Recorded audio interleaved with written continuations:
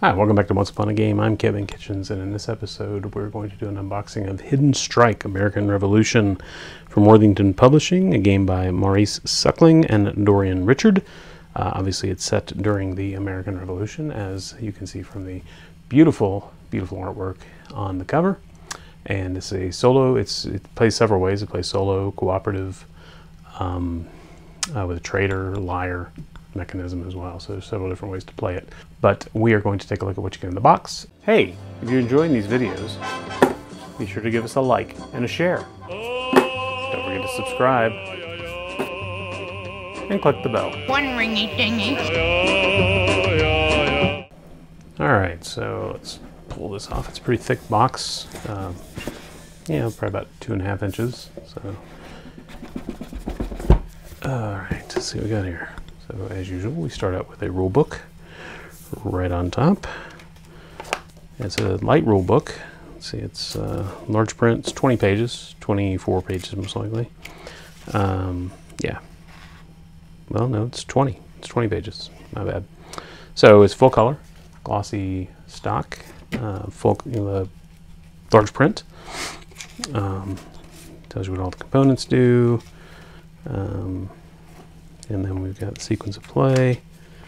Uh, and these are the other modes of play. So the rules actually seem to go only through uh, through page eight, and then you cover the traitor mode, the versus mode, um, mastermind mode.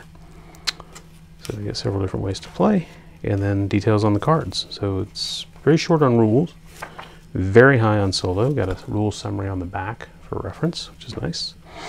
Then we've got the score pad. Now they've started to include these in a lot of their games, which is really nice because you can kind of remember uh, how you played if you're not using a tool like uh, BG Stats or or uh, logging your plays on Board Game Gulag or anything like that. So um, it's nice that you can you can record what you did and, and the score and how things how things panned out. So they give you a sheet of score pads, me a sheet of scoring sheet. Let's try it again. They give you a pad of scoring sheets.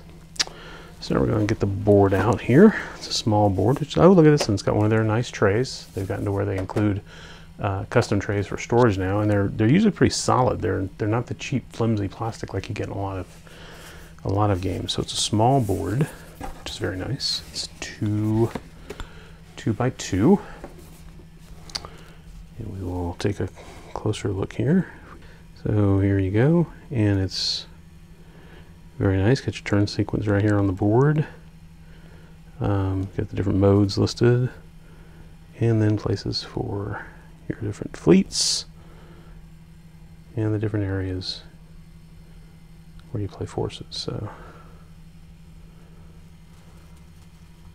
very functional. I like that it doesn't take up a lot of space. So that's very cool. Fold it. I'm folding it incorrectly. There we go. All right, so now we've got the tray in here with the lid. We'll pull the lid off. So we've got bags of markers. So we got some wooden cubes, uh, some light blue, some powder blue, some royal blue, some purple, uh, got some gray, and then uh, some red. So that was a gray, it's not. And so those are cubes, and then we've got these, which are more rectangles. And these are in orange. So we've got orange, green, red, and blue. And then we've got these longer pieces and what, are, what I would guess would be the fleets because they're, they're pointing like the bow of the ship. And they're in various colors as well, for obviously for the different factions. So several wooden tokens in here. You got some baggies, bag of bags, help sort, and then we've got a couple decks of cards. So let's open those and take a look at those. So we got the two decks of cards open. Um, uh, the cards are very nice, very very nice linen finish, very smooth. Um, let's go through and see what we got here. So we got George Washington Traitor card, George Washington Founding Father card. Uh, we got a marker that indicates whether Canada is American controlled or British controlled. Loyalty cards. So there's not sorted. So here's a mastermind card. Obviously for the mastermind mode, American forces. So they're like you know a lot of games where the cards have to be completely sorted. So like here's Tidewater, American controlled or British controlled. So you got control cards. Um, then we've got American forces cards.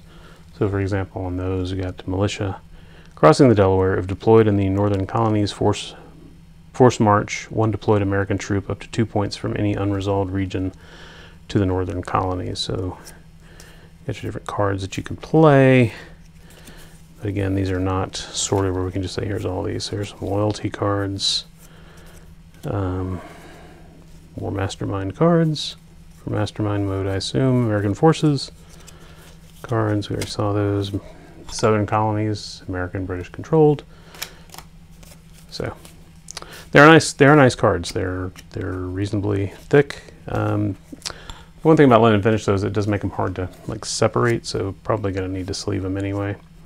Uh, I do like that it's Hidden Strike colon American Revolution, which makes me hopeful, if it's a good game, of course, that there's other in the Hidden Strike series that we may see Hidden Strike World War II or Civil War or Vietnam or anything like that. I, I've not heard that, but you know, seems reasonable. So we do have the American Forces cards in this deck and loyalty cards. This other deck starts with Mastermind on the back. And I guess you use this to guess which color pegs are in the right order. No, just kidding, obviously. Uh, this is only used in Mastermind mode. Then we got reserves cards. Uh, deploy a loyalist force, a loyalist stationed in one of the local force pools. So we got reserve now. We got British forces cards, obviously, for them to move. So, and the ones that are pointy are fleet cards, like the the uh, with the with the pointy bow or, are the fleet cards. So, so this is the British forces, and then we got reserves again. So uh, they're separated in that you have the, the two wrapped decks are obviously separate, but they are still also kind of uh, you got to sort through them. But anyway, if you pick up a copy of Hidden Strike uh, American Revolution by Worthington Publishing, you're going to get the nice sturdy tray. You're to get the two decks of cards that you will do some sorting and you know only use the ones you need for the game. You're going to get three bags of wooden components. So there are no tokens. This is all uh, move your token, move your wooden components around the board. Uh, you're going to get the game board that we took a look at. You're going to get the scoring record and a 20 page full color rulebook. And that is what is in the box for Hidden Strike American Revolution. Designed by Maurice Suckling, Dorian Richard, and published by Worthington Publishing. Thank you so much for watching. God bless you. Bye bye.